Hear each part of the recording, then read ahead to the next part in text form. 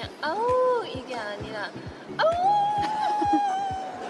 웃는 것처럼 진짜 너무 너무 마음이 되게 찢어져서.